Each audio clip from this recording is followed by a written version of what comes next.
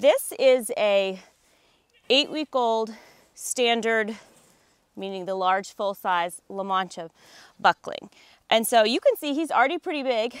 Uh, you know, I'm only five one, but he's already up to my knee um, at this stage. And so we're just gonna talk about, he has a twin brother. And so even if you wanted to retain one for breeding purposes or whatnot, you also have the thought maybe of let's try some of the meat. So say you have the mother and the two babies, um, or maybe you're gonna butcher both of them. He will have about 80% of his growth done by about nine months, but he'll have about 60% of his growth done at six months. So if he kidded in the spring, he could be butchered in the fall, and he would produce enough meat for a family uh, for, for a time to know if it's something they want to do again. Is this, is this uh, something that's palatable? Can we cook it? Do we like it? Can we harvest it? Do we have help harvesting it? Do we have a place to take them to be harvested? So don't, if you're thinking you want to try meat, don't be so caught up on breed as well. Even with the full dairy kid, you have some good size on your initial growth.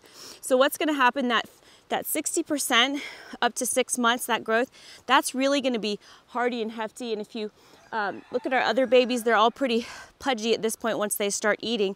And they don't start getting long and lanky again until that nine month mark. And then when they start really getting their height on them after that.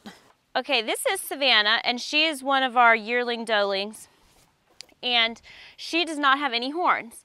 And you'll notice she has these nice kind of giraffe polled bumps. She's naturally polled. She has not been dehorned. We don't have any dehorned animals on this property, and we don't do any dehorning. Um, some people don't even realize that most breeds of goats actually come also in naturally polled.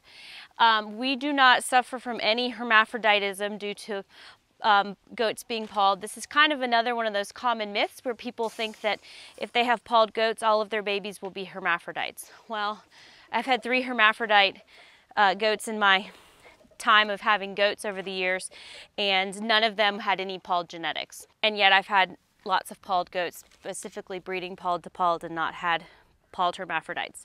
Why do we not disbud?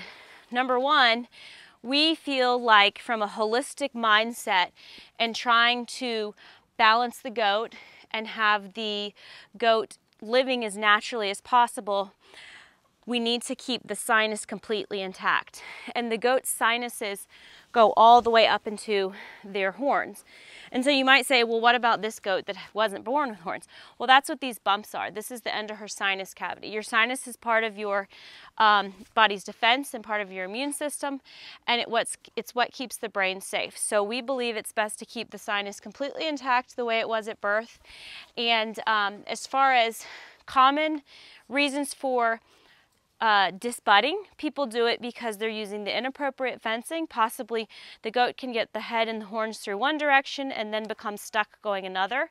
If we have an instance where we need to use a piece of fencing that's not goat appropriate, we will add two inch chicken wire or two by four wrapped wire or welded wire just to use it um, for a moment. None of our permanent goat fenced areas have um, fencing that adult goats with horns can get their head through and become stuck. Other people are frightened of the horns. We have never had accidents because of the horns. Horns do not cause aggression in goats.